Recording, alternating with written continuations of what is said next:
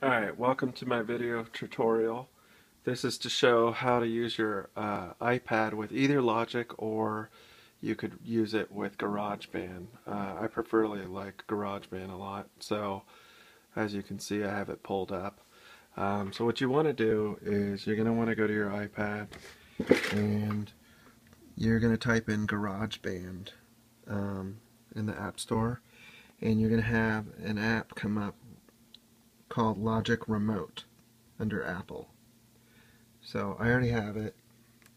And what you do is you download it. And from there you're going to bring it up.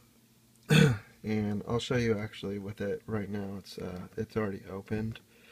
But if I if I open it freshly and it doesn't detect it here what's going to happen is you're going to get this. It's going to connect and it just connected. So right now I have complete control over, as you can see if I, if I just hit play, you can see it's controlling here. Then I can control the volume, all the faders.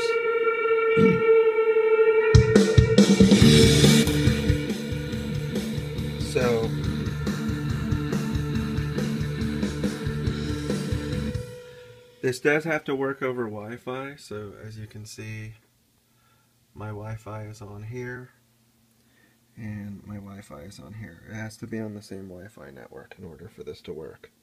So some of the cool features is you could do record, you could set all the recordings, you can scroll between your uh, mixer um, you can also tap here and you can scroll through the song, rewind.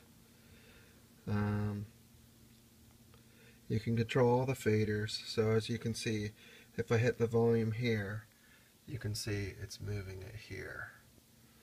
Boom. Boom. So anyway, it's complete control. It's amazing. It's actually perfect if you play drums and you want to set it in another room and track. Um, works really good.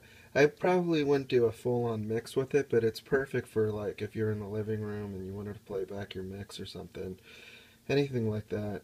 So um, there's a lot of different things that you can do with it. I'm not going to go over it. You'll have to get the app and kind of just go through it. It is free, which is beautiful. Uh, Apple did a great job. I have not tested it with Logic, but I'm pretty sure it just works the same. So anyway, if you like the video, please comment and subscribe. Thanks for watching.